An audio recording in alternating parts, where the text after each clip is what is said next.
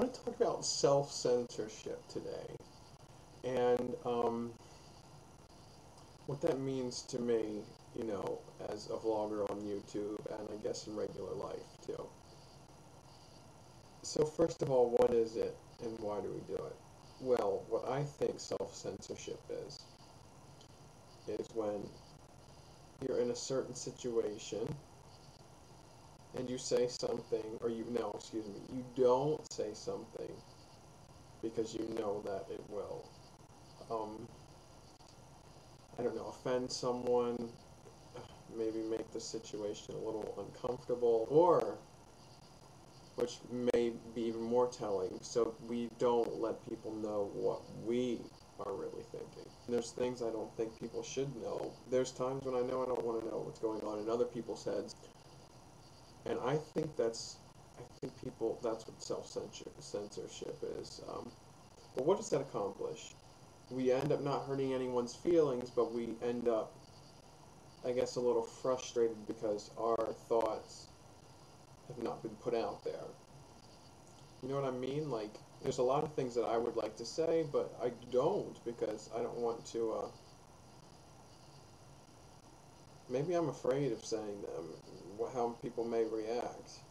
So, and I, guess, I guess in some cases we should do it, in the cases where we don't want to offend someone. But in other cases where it's just us being timid or, you know, I don't know, just like not putting ourselves out there, maybe we shouldn't censor ourselves. So this brings me to another question I've been asking myself. Most of my videos I post on YouTube are very, very nice and not going to like hurt anyone's feelings or make anyone upset or feel out of place. And I've just been thinking recently that that's, I don't know if that's what I want to do. I'm not saying I want to go out and, you know, offend every person I meet, but you know, I want to keep it real, as we would say at the Gap. We're going to keep it real. I'm thinking maybe I should stop censoring myself and pick subjects that I want to talk about that I don't talk about because I know certain people are watching and it would just make them uncomfortable. There's other times where I could pick a subject and I know that not one person will respond to it. No one will give me a comment. No one will see this video and think, oh, you know, I want to subscribe to him. And I think for everyone who goes on YouTube, it's like you want to subscribe. You want subscribers. You want to like know that people are watching you. It's it's just that type of thing. That's what YouTube's all about. So when you put up videos that could possibly offend someone you run the chance of not getting them as a subscriber.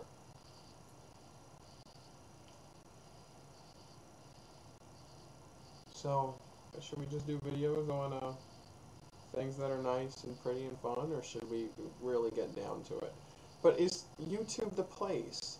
Like, do I want to put all my personal personal um, situations, my personal feelings, observations out on YouTube? Honestly, yes, I think I do. Because for me, YouTube is almost is like therapy. Once I say it, and I know that it's out there, and there's the potential for someone else to see it and feel what I'm feeling, it makes me feel better. It really does. So, why have I been censoring myself? I think I said it earlier, but I'll say it again.